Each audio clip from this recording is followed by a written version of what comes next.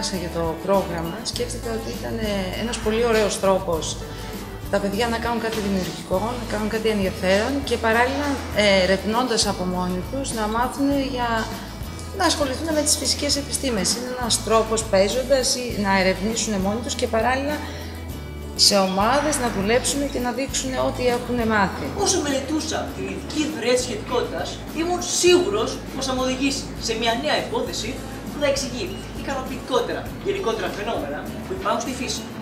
Έτσι, οδηγήθηκα στην γενική ιδρύα σχετικότητας. Συνήθως τα project ασχολούνται με κάτι συντάξει, ψάχνουμε πληροφορίες, χαρτούρα. Και όταν οι καθηγητρίε μας μας ανακοίνωσαν ότι θα ασχοληθούμε με μια θεατρική παράσταση εξ ολοκλήρου δικιά μας, που θα κάναμε εξ αρχής ενδυματολογίες, τα σκηνικά, ήταν πάρα πολύ ενδιαφέρον και κάτι εναλλακτικό. Οπότε μας τράβηξε αμέσως το ενδιαφέρον. Ήταν πρόκληση, γιατί δεν είχαμε ξανασχοληθεί, αλλά ήταν και κάτι το οποίο είχαμε πάρα πολύ όρεξη να ασχοληθούμε με αυτό. Οπότε το επιλέξαμε κατευθείαν.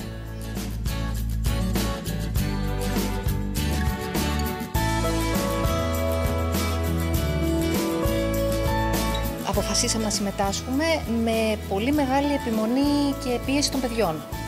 Ε, είναι η πρώτη φορά που το κάνω. Δεν έχω καμία ιδιαίτερη σχέση με το θέατρο, πέρα από το να μου αρέσει να είμαι θεατής.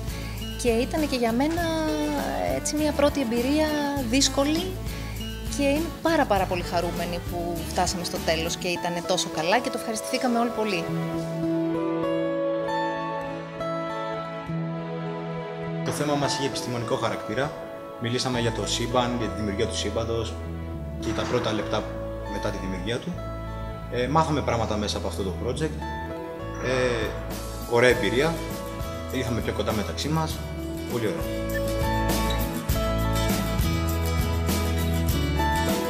Νομίζω ότι είναι πολύ σημαντική η αποκόμιση γνώσης μέσα από τέτοιες πρακτικές. Γιατί ε, όλα αυτά βρίσκουν να πατήσουν πάνω σε ήδη ε, υπάρχουσες γνώσεις. Και νομίζω ότι μόνο έτσι χτίζεται τελικά κάτι. Και βεβαίως επειδή ακριβώς ε, τα παιδιά αυτά βομβαρδίζονται από πληροφορία, ε, η πληροφορία που την αποκομίζουν βιωματικά γίνεται τελικά και κτήμα τους.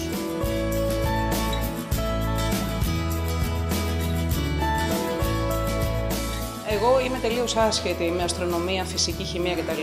Είμαι φιλόλογος και ασχολούμαι με το θέατρο. Ε, ο συνάδελφος ο κύριος Τζαμαλής είναι φυσικός με ιδιαίτερο ενδιαφέρον στην αστρονομία. Οπότε ήταν τέλεια η βάση της συνεργασίας εξ αρχής.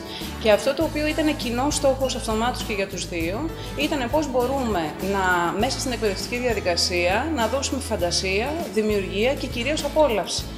Και επίσης ο στόχος μας ήταν να μην πάρουμε κάτι έτοιμο και να βάλουμε τα παιδιά να το παπαγαλίσουν, αλλά τα παιδιά να το δημιουργήσουν.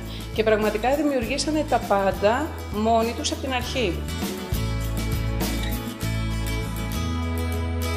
Είχαμε όλοι πάρα πολύ άγχος και όχι για τον εαυτό μας συγκεκριμένα, αλλά για όλους, αν θα βγει τελικά καλά το όλο πράγμα. Γιατί εντάξει, μια φορά την εβδομάδα κάναμε πρόβες, αλλά πέρασαμε τέλεια και μπορεί να έγιναν μερικά λαθάκια, αλλά σημασία έχει ότι στο τέλος νομίζω όλοι το απολαύσαμε.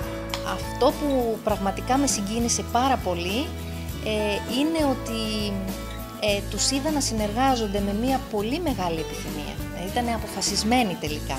Τόσο πολύ αποφασισμένοι που με εξέπληξαν. Και νομίζω ότι το απέδωσαν με τον καλύτερο τρόπο. Θα το ξανακάναμε πιστεύω όλοι. Ήταν κάτι υπέροχο. Ε, κάποιοι μέσα από αυτό βγάλαμε τα ταλέντα μας. Ε, ήταν πολύ όμορφο γιατί ήρθαμε όλα τα παιδιά κοντά και θα το ξανά έκανα κι άλλες τόσες φορές.